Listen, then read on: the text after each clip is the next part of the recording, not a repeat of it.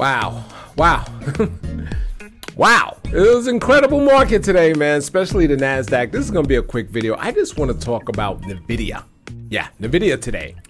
But first, real quick, here's the averages, right? NASDAQ on fire. And then check a look at the uh, the heat map. And, and really everything was working except for the banks, energy, and the industrials. And that kind of showed in the Dow industrials. But, you know, let's talk about NVIDIA and my NVIDIA trade. Uh, I'm all... Uh, I, I, man, I put on a trade. Remember, I'm at work, right? So trading at work on my phone, I usually lose money. So I'm like, man, I'm so confident in this one. I wanted to grab the, I sell a put spread right off the bat. Had no idea this thing was just going to explode 5% for the most part.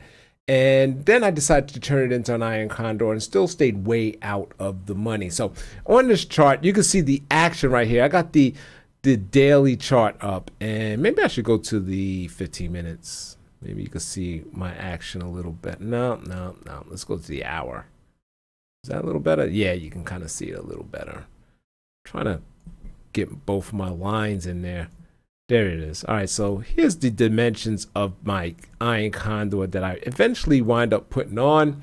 So the market opened up it opened up right here, right? And you can see, for the most part, if you look there, I got pretty good location on. And I still think, I'm just like, there's no way that this uh, NVIDIA is just going to blast through the 700s because if it gets up to the 800s, that's basically what it would have done.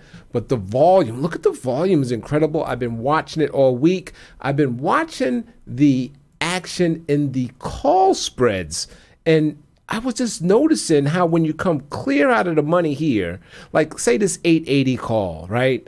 Well, these option prices are a little messed up this after hours. Look how much they want for it, right? So uh, it's hard to tell here because these these prices are not right. Let's say here, this 830, they almost want say three three dollars and thirty cents. I just think that's incredible. And when you would spread it, if you would uh, say buy this call spread, look at the 68 cents for something that's 15 days and 830. So I'm like, and it's been pricing like this all week for the most part. I basically was selling those though, right? So I'm selling that deep out of the money call spreads I showed you in the video, I think before this or the one prior to that. And those those iron condors came off for profit. That was perfect. And what boggled me is when it was going down, when it went from like 825 to 810, those options did not lose value. Yeah, so those options that I sold up here, they did not lose value. And that was making me scratch my head. I'm like, wow, we went from 825 to like 807. Was it 8 something like that? 810? And a few days later, and they did not lose a penny. So I'm like, what are they expecting to happen here?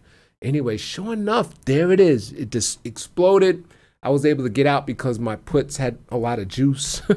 so I was able to get out. I got out exactly as planned, halfway, so it was perfect. Decided to put on another one, right? So it opened up here, and um, you can see uh, there's my my position. I think I'm good, and then it just started exploding, right? Uh, actually, I, I I think I did it on somewhere it was like 720, and I'm right there. Anyway, it started exploding. I'm like, oh man. I I don't like my call side. I don't I don't like my call side, and I was way out of the money on a put. Not out of yeah, I was way out of the money on a put side. So basically, the the these so you can see it. I sold the six fifties, the six fifty fives, and sold the eight fifteens. But this thing started was like eight seven fifty. I'm like no no this is not good. It's not good. So I wind up closing that out and then selling the seven hundred. So now my my position is here, right? So I'm at the seven hundreds. I sold the 700s, bought the 655s back for protection so I can remove this line, remove that drawing, and remove that drawing. So now that's my new spread. I was able to, the, the original spread I collected a dollar six. Okay, now this spread where I adjusted it, moved it up, I collected an additional 67 cents. So it's like a dollar 72, something like that. All right, so now I'm going to try to buy it back for half price of 172. But I just hope this thing doesn't keep exploding to the upside. If you're long NVIDIA, that's what you want. but I've been playing the Iron Condors. And if you remember in that video, I was way, way, way out of the money on the call side. You know, I thought I was too far and I just suspected it. I just suspected that that would happen and I was right. So that came off for a profit, just as expected. Decided to throw another one on, and then it just started ripping. I should have just bought calls. You know, I, I, I wasn't looking, wasn't able to look at the charts when I'm not on the phone.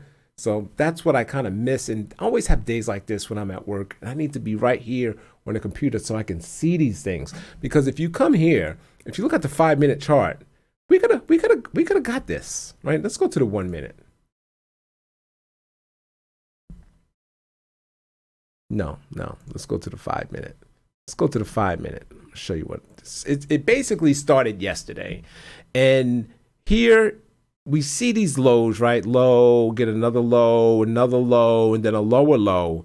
And then right here, right? When we get this higher low, right there, that was your cue to say, hmm, to start paying attention. Because now you got a new low. That's like a new level of demand. So when you start coming up here, right? So here you got the the the, the higher low. This was just about a, high, a higher high, and sure enough, it checked back. Right now, you got the open. You're like, okay, what are you gonna do? You're sitting right here at the higher, just below that old high.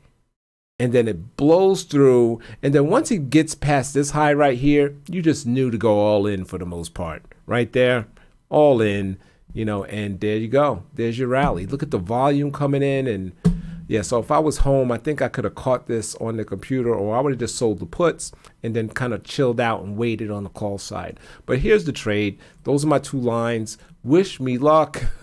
I need this thing to kind of just slow down and I will be all right. So yeah, let's talk about that NVIDIA. Let's look at the weekly and just, you know, it's just incredible. Look at that monthly, right? Just straight up. Suppose we get one of these legs, right? Suppose, can we get a 300% leg? Well, that was a year and a half. So we'll take another year and a half to get that 300% leg. But you never know. If you pull out to this week, we got the weekly, and I'm going to clear all this out. Now, remember my, my sets, but here we go. From there to here, this is what I want to point out. This is 45 days, and that's a 40% incline. From here to here, this is 30 days and we at 40%. So you can see the pullback it took. It took a pullback here, took a pullback here, and I'm expecting another pullback. I don't know if it's going to be that significant because from there to there was 16%.